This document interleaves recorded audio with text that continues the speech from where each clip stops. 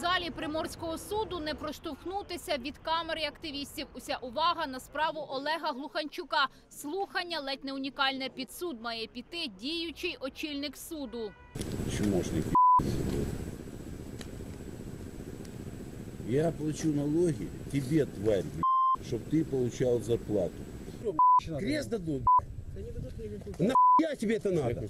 11 лютого суддю Глуханчука та його товариша з одеського виконкому зупинили копи. Посадовці були п'яні, не соромлячись камери, гуляки обклали патрульних матом. Згодом перейшли до погроз. Иди отсюда, на. Я ушел. От меня отойдите, пожалуйста. Вот когда-нибудь твои действия обжалуют, я тебе по полной. У призначений час Глуханчука у залі суду немає. Його колега у мантії, здається, не здивований. Чекати і не думає, одразу переносить слухання. Причини явки невідомі.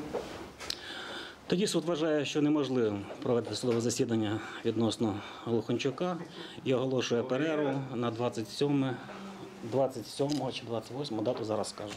Куди подівся Глуханчук? У приморському суді, начебто, не знають. При цьому він цілком офіційно у відпустці ще 6 березня. Повернеться лише 15-го. Виглядає це досить підозріло. Вважають активісти, що стежать за процесом. Вони підозрюють навмисне затягування справи. Было принято решение о переносе заседания на 28 э, число этого месяца. А В случае, если ни господин Глуханчук, ни э, его представитель не явится, то э, решение будет принято без него. Все будет ясно. Или же система его защищает, э, та система, в которой он работает, или же э, система все-таки покажет, что э, закон в нашей стране превыше всего.